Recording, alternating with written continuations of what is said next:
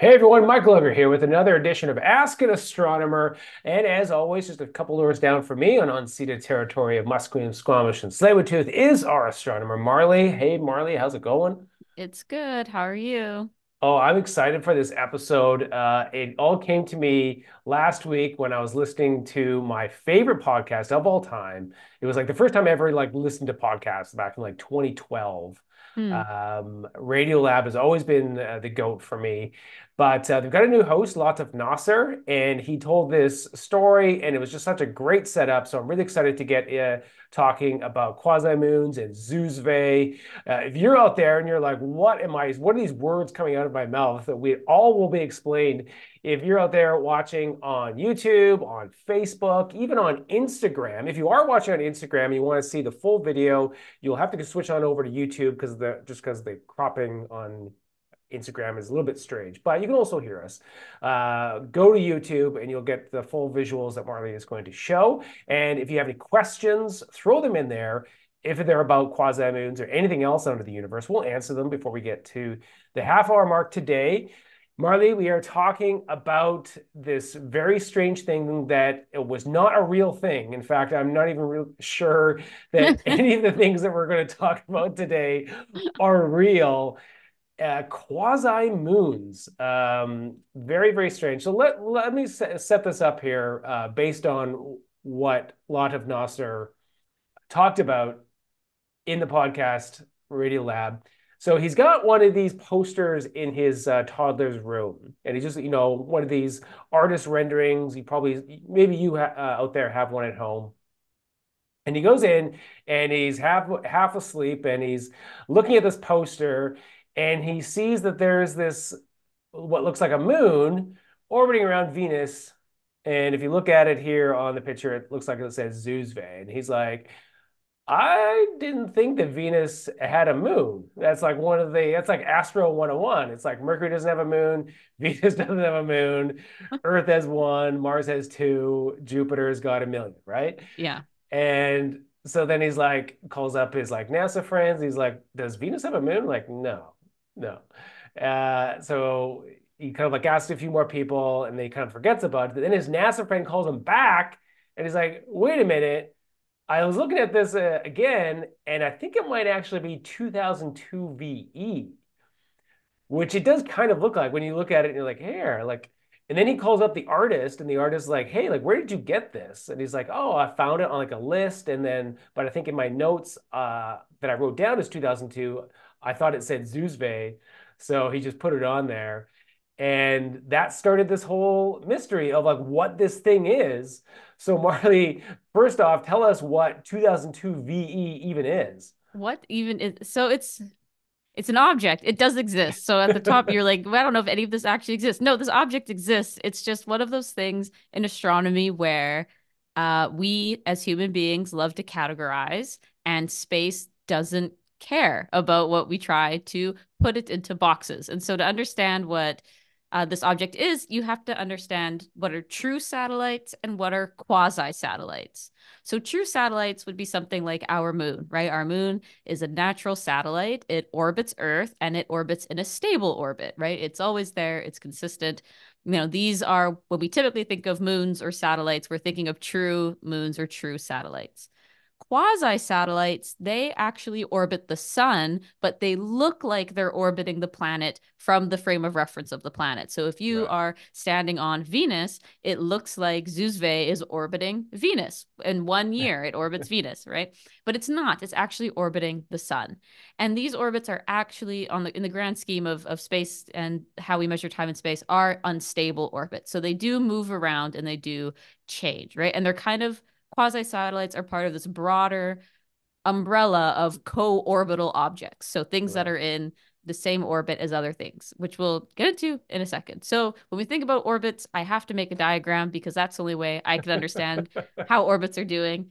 Um, this is why my hair looks the way it does because I was trying to understand all of this uh this afternoon. I mean, the so hair was great, by the way. Thank you, but it was a lot of um a lot of drawings, me drawing things out, being like, how am I gonna? Anyway, so when we think of, you know, the Earth, Moon, Sun, right? We have our Sun, Earth, you know, or whatever planet is moving around the Sun, and then the Moon is orbiting that planet, right? Right. It's very much just a compact, simple, much more easier to understand. When we think about quasi moons and co-orbital objects, we have to think about what we call orbital resonance. So what orbital resonance is is when orbiting bodies you know as they're moving around they're exerting like gravitational influence on each other uh, Mhm. at like a constant and like a, a periodic fashion right so like they're always pulling always tugging on each other and usually it's because those orbital periods are related by a ratio or a small ratio, one to two or two, one to four. And it's usually found between pairs of objects. So two objects together will have some sort of orbital resonance on each other. And that orbital resonance, you know, that can enhance the mutual gravitational influence, whatever that influence is. Mhm. That can be the ability to like alter the orbit by a huge amount or hinder the orbit by a huge amount, right? It just exerts some sort of influence. And usually they're unstable, right? This is actually this type of phenomenon in orbital resonance is what we use when we define planets, right? So planets have to clear their orbit. And in doing so, that involves orbital resonance. They have an unstable orbital resonance with something smaller or similar size, and they fling it out of the solar system, right? That's Mhm. what that is. But sometimes I have to sh- uh, change what I'm sharing. It happens to be stable. And when it's stable, we see them in a range of things, but most often, or what will be most relevant um, to people, will be Jupiter's moons. So Right. um, Ganymede, Io, and oh, I can't remember. Europa. No, no, I think it's Europa. Or is it Callisto? One of the two. I think it's Europa, though. Whoa. Oh, that's the noise from the video. Okay, so when we have these orbital resonances, we and they're stable, we see them in the Galilean moons. As it's orbiting around, we see that they all orbit kind of at the same. They line up every now and again. So Ganymede, uh, Io, and the other one I don't remember right now. I think it's Europa. Yeah, Ganymede, Io, and Europa have a one to two to four resonance, right? So if I play Oh boy, if I play it again, which it does not want to let me because I clicked the wrong thing, it will all they'll all match up together, right? So as Mhm. Ganymede completes one orbit, uh, Io will complete four orbits, and Europa will complete two orbits. So as they spin around, this video is from the European Space Agency. It's actually part of what JUICE is looking at, Okay. investigating um, the orbital resonances of of the moons and like how that influences the magnetic fields that they induced and already have in the case of Ganymede. So Io being the innermost one, it completes four orbits in the time it takes Ganymede to complete one, and Europa will complete two orbits in the time it takes Ganymede to complete one orbit. So this Right. is an example of like stable orbital resonance, right? They're all together, but they all pull on each other, have kind of settled into this self-correcting system where they all have, you know, it's all timed out, they all follow each other. Now, mean motion orbital resonance, which is what the case of quasi satellites have, that happens when two bodies have, just two of them, have a period of revolution that are close to each other. And that can be stabilizing or destabilizing to various degrees. And we can think of those like the Trojan asteroids of Jupiter. They are in a mean motion orbital resonance, right? They're Yeah. about the same distance, they're all moving together. Or it could be considered destabilizing. Like actually in the rings of Saturn, we see this in what's called the Cassini division. That's been cleared out by a two to one ratio of resonance by um, Mimas. Actually, the moon Mimas has caused distortion in there. The Death Star moon. Yes, yeah, the Death Star moon. So we have all basically what it boils down to everything is moving and everything is pulling on each other and is having an effect on each other. And the one thing you have to consider is where you are watching this happen from, right? What are you seeing happen in the sky or what frame of reference are you in? Shout out to my grade nine math uh, physics teacher who helped me figure that out. What was So it, what was his name? I don't remember, but I remember his face. I remember his face very clearly. Yeah. Let's get him on the Um, show. No. Uh, no, that's fine. Um, so in the case of a quasi satellite, we are looking here. What I've done is a view from the perspective from the sun, for example, right? So watching the things move around, you're kind of looking top down at the orbit. So the planet is orbiting the sun. That's that white you know, dotted line orbiting the sun, but the quasi satellite is also orbiting the sun. It's hmm just that its path takes it around the planet, right? In terms of where it's moving.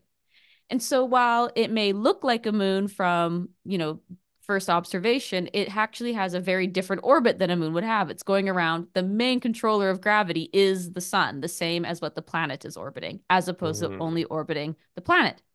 So a big difference with quasi satellites is that they are too far away from the planet for the planet's gravity to have any kind of significant hold on them. They provide more of a the planet provides more of like a stabilization factor, if hmm anything, or a very significant destabilization factor, depending on what's happening. Um, that's kind of the biggest difference. So in the case of Zoozve, uh, the quasi satellite moves once around Venus in the same amount of time it takes Venus to go around the sun. They're traveling together. You can think of it like um, I heard it explained as like race cars on a track, right? They're both one may be further out, like on the outer track, and one may be hmm on the inner track. They're both going around the main central uh, location, but they're right by each other. So it looks like the outer track is orbiting the inner track. They're just moving along the same path, but Yeah. one encompasses the other. I actually got a, a question just on this point here. 604 Flyfisher asks, are they on the same plane?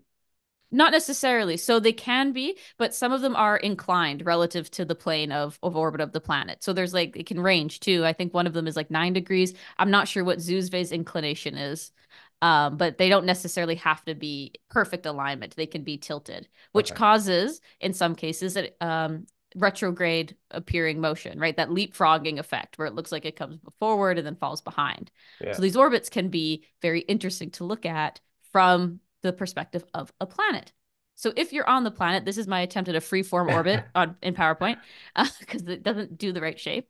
The planet will be you'll be moving around the sun as normal, and it'll look like to you uh, standing on the planet that this quasi satellite is your moon, right? It's moving around. It's just very much further away than a moon should be, right? So these quasi satellites are very, very different uh, So if you were differently. standing on Venus, this you would see this moving around. I, I assume it's probably not that big, so I don't know if you would actually like see it if you could see it th through the clouds, which you can't.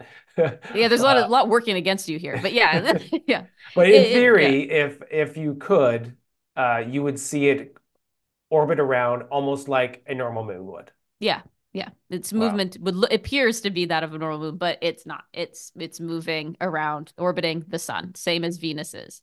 So they're very interesting. There's they're very interesting objects. They are real. They're just one of those things that kind of happen, and astronomers go, "Oh, that's neat," and then they move on. They're a big of it. A big part of it is, a is that going to hit us? Right? Is that going Mm, to because they're typically asteroids or ch tiny asteroids or varying sizes. Zoozve is about just just about 250 meters across.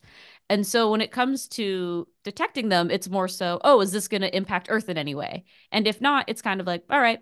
And then, you know, you trace the orbit, you see it's not going to hit Earth, and then you kind of, you know, move on. It's not necessarily a big, interesting scientific. It's interesting, but not like necessarily a big, big part of it. right. And the first time that I heard of quasimoons was actually a reporter many years ago that caught on to this and wanted to know about Cruithne, which I was like, what the heck is Cruithne? And then I had to kind of like do this same deep dive, but but we were chatting just before, and you're saying Cruithne actually has changed status since then. Yeah, it's not a quasi moon, it's a co-orbital object, which is just like Yeah, like it does it could it could become one. Like the orbits can change.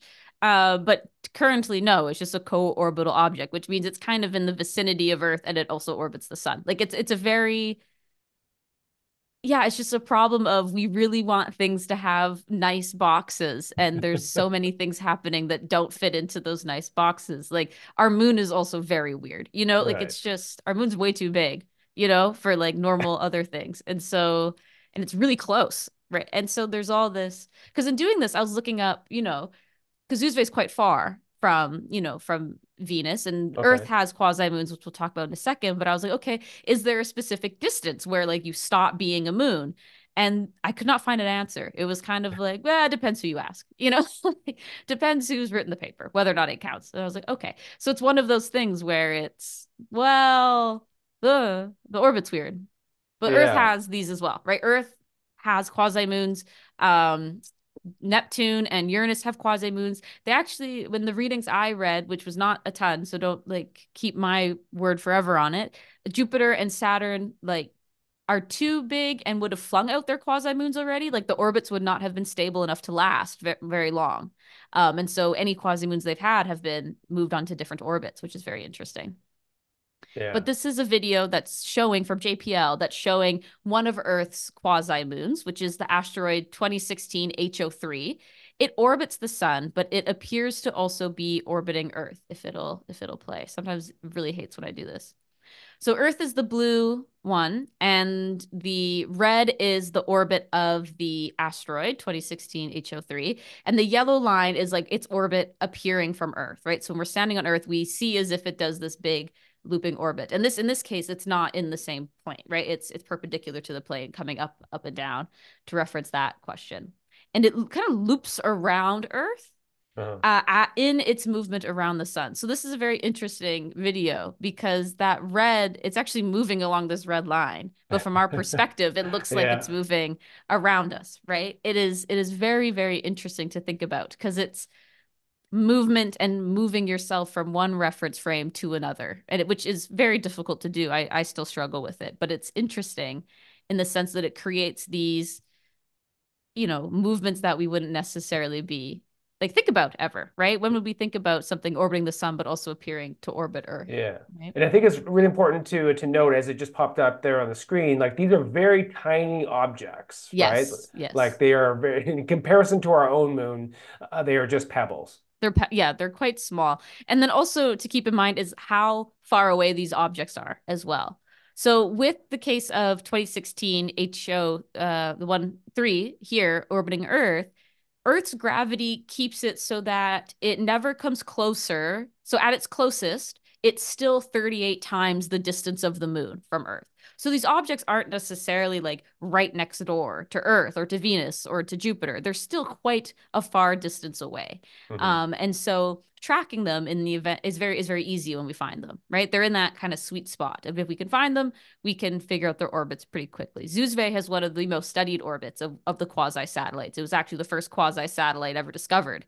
And so you know they've looked at it quite a lot and it crosses earth's orbit but it's not necessarily one that we need to look out for right, right. also it's also you know pretty little um, in the case of 2016 HO3 at its farthest it's 100 times the distance from between the earth and the moon so okay. very small like in terms of our local neighborhood in terms of our solar system neighborhood it's it's pretty much the same distance from earth is from the sun so that's why it's in that same that same orbital lane, kind of, right? It's mm-hmm. again one of those things where who draws the line. I uh, got but, a question from uh, Abdul Majid uh, Sagur. I think I said that right. Uh, what would the moon be if it were further away than it actually is? Would it be its own planet? And I guess what right? where's yeah. where's that line? yeah, I don't know. it, I guess you know it'll depend on how far it is. It also because we, when we think about planets, we always think about them in anyway from like when they start right? So they're in this protoplanetary disk after the star has formed and they start to form over time. We don't really think of them as having been in one spot and then moved even though that's that's what's happened. They've they've moved and migrated uh, to their current locations and now they've just kind of stayed there for now. Kind of all harmonious together. But if we were to just like move the moon and put it in some other orbit and it begins to orbit the sun yeah I don't know. You know, does that count? Because the big part of becoming a planet is that you've cleared your orbit. So right. in the, you know, you've done this orbital resonance thing or use that as a mechanism to like shoot things out or you've absorbed them, right? In the case Jupiter sometimes does, just like gobbles things up. And then other times it, it has it has just removed them from the solar system entirely. So it's kind of a it never had an orbit if if it just went far away it never had an orbit to clear and so can it be a planet i don't know that's a problem for the International Astronomical Union, not for Marley's. But it's like it's a lot of boxes that don't necessarily work, right? It's it's fun. It's fun, but it is well, also and this gets back to the Pluto debate, right? Which is, yeah. you know, does it even matter what we call Pluto? It's still a very interesting world, but you know, the argument for making the category is that categories matter because we need to study these things and then potentially give other worlds like minor planets, a lot of these other worlds, kind of like more attention. As you saw, as soon as the IAU made the dwarf planet uh, category, all of a sudden Ceres and mm-hmm. Harward, all these uh, worlds that were always there, finally started to become relevant, you know, because now they were kind of like had an elevated status. So it's kind of weird because we, as humans, we need these categories so that we can kind of understand. But at the end of the day, it's all kind of a mess because there is so yeah. many of these different weird objects that are very hard to categorize. It is, yeah. Science is messy, and astronomy is just one of those things. Like when you're studying, you know, the entire universe is bound to have some problems, you know, when it comes to trying to make things work in a way and organize things in a way that we enjoy even you know it's just it's funny. I find it funny but it is it is just one of those things that that happens a lot. It happens a lot. Same with like black hole classification like the whole debate of whether or not there can be intermediary mass black holes or like what's right. the limit? What's the upper limit? What's the largest small black hole you can have before it becomes an intermediate you know like who draws that line? I don't know. It really depends on who you ask. So well, because there was that whole talk of like the micro black holes yep. and and that sort of thing. And and what is what is into that? Because if you're talking about micro black holes, all of a sudden people are freaking out because they're like, are micro black holes everywhere? Am I going to get sucked into a micro black hole? if they're around, they haven't caused problems yet, so I wouldn't worry about it too. Much. You know, like, oh yeah. Okay, so back to Zoozve, because the whole reason that this story came about was because Latif Nasser, the reporter, you know, got obsessed with this and then started this whole rabbit hole. And the theme of the episode, which I, I highly encourage people to go and listen to, there's actually an updated um, uh, addendum to it, but don't listen to the update until you listen to the to the full episode. Mm-hmm. Uh, we'll kind of spoil it at the end of this episode uh, of what happens at the end, but the theme of the episode is really how this order to our solar system and that classic children's poster up on the wall of eight planets and maybe a scattering of a few other things is far too simplistic for how solar systems actually are. And even in Latif and me myself, I was very interested in that gap between Mars and Jupiter and knowing everything that's going on in that gap with all of the asteroids. And now you, you know, mentioned about the Trojan, you know, asteroids. Those are really, really interesting places, but they don't fit into this like this neat, uh, nice, tidy little model of the solar system uh, that we see up there in the poster. And uh, it gave Latif a lot of comfort knowing that like, hey, like the universe is is uh, is full of surprises and it will constantly surprise you, which I think is, is a wonderful thing to kind of like think about in something that even here at the Space Center when we're talking about space and um, opening up these little doors that sometimes fall into rabbit holes, it's it's fun and it, it gets people engaged, and that's at the end of the day, that's kind of what it's all about. Yeah, I mean, whatever makes you curious, right? It's kind of like you, you know, space science is just it has chaos built in, right? Like no matter what happens, there's something going on in the background that, you know, I guess if anyone's watching who's done like physics or is doing physics, it starts right away with the ignore air resistance, right? Like just just for the sake of simplicity, for the sake of this to work, just ignore air resistance, right? It starts from the beginning because there's so there's so many things happening at any time and it's never as clean and cut as you think it is it's always it's always pretty messy right um, so uh, the end basically the, the wrapping up of the story is that this object which was not called Zoozve, it was called 2002 ve Latif took it upon himself to uh, reach out to the person that discovered this world because that's kind of like how it goes. If you discover yes. a world, you get to be the one to name it, right? Yep. And so he went Provided to him. you follow some rules depending on which body you are in. Yeah. yeah. We won't get into those rules. You can listen to the episode on kind of what those rules are. Yeah. But they basically petitioned the IAU to change the name officially to Zoozve. Yes. And it was accepted February 5th. The IAU accepted it, and the working group for the Small Bodies Center, I think is what the group was, they said, yeah, okay, that's its name. And now it's officially designated 524522 Zoozve because it's still got to have a number, still got to have a catalog number. Right. right. Um, yeah, and it's weird because if you look at uh, a list of a lot of like asteroids and stuff, like they name them, you know, there, there's all sorts of like crazy names out there. There actually Mhm. is in the episode they talked about how there is an asteroid named Spock, but it's actually named after the astronomer's cat, whose name was Spock. I love Uh, that. which I thought was kind of cool. So there, there is a Spock, uh, but it's not um, Not what doesn't you have think. anything to do with Star Trek. It's very, I wrote my whole physics thesis, but I used the word we instead of I. And so I just co-authored with my cat. Like there's a person who did that. Awesome. Well, if you're out there and you have found any of this uh, fascinating, we've got a few more uh, minutes to join in on the conversation, ask some questions uh, about any of this. Um, I, I see you. Uh, you've got one more picture to, to share with us, Marley, before we wrap up. I do. So this is kind of the the end of Ingenuity, right? So this was taken by Perseverance, the rover Perseverance. If you remember, I think it was last episode or the episode before. It's been a whirlwind. Um, Ingenuity, of course, was damaged, and the only way it talks to us is through Perseverance. And now, you know, Perseverance's mission keeps on keeping on, and so it's on its way leaving. Um, and eventually, we will not be able to communicate with Ingenuity anymore. So this is kind of a last look back at the at the helicopter as Perseverance continues on. But what I wanted to highlight is the terrain, right? If you remember from that episode, I was talking about how they think the damage like it had to emergency land because it couldn't tell where it was anymore. Like the hazards were off.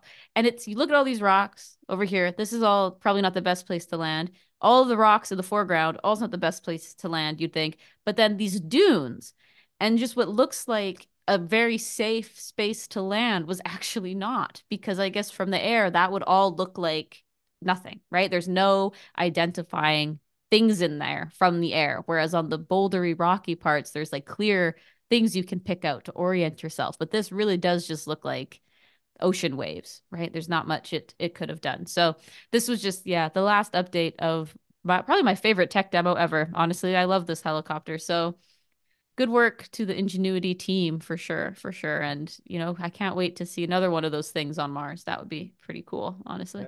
Absolutely. Yeah, this is a, great picture. And if uh, if you're just learning about Ingenuity, Mars helicopter, you can go back and listen to or watch the previous uh, Ask an Astronomer episode from a couple weeks ago, as well as all of the Ask an Astronomer episodes uh, for the past three years. They're all up there. Lots of great stuff uh, to delve into. Marley, thank you so much. This was a really fun episode. I feel like we need uh, some of these episodes every once in a while, especially after the sad one uh, of the end of Ingenuity uh, last Yeah. episode, right? No, it is. It was good. It's it's always fun when something funny happens and it has a good ending. You know, it got it. It's got its name now that now that the poster is correct. It is called Zoozve, You know, like it's accurate. So That's that's fun. Yeah, Uh, full circle. Well, full thank you so much. This uh, this is a great episode. Thank you uh, for everyone watching on Instagram, Facebook, and YouTube. If you want to join live for a another episode of Ask Astronomer, we will be live in two weeks. That is going to be on do, do, do, do, uh, February the 22nd. Uh, we've got a big uh, Valentine's uh, event next week, which uh, tickets are selling fast. So, so, so if you're out there, uh, it is a 19 plus event, um, which you know can be a pro um, if you are 19 plus. But if you're under 19, unfortunately, but we have a family event though. Yes, Uh, which uh, is free, but you need to get in here. It's going to be very busy um, on Family Day, February 19th. So we have a balance. We've got the family event and we've got the 19 plus event. Uh, but we've got a listening room. We've got a full music playlist with visuals uh, for that Valentine's event, plus Marley and a, a journalist from Northwest Territories are going to be talking about the aurora. So really cool stuff we got coming up. Uh, that's it for this episode of Ask an Astronomer. We will see you all in two weeks. Take care, everyone.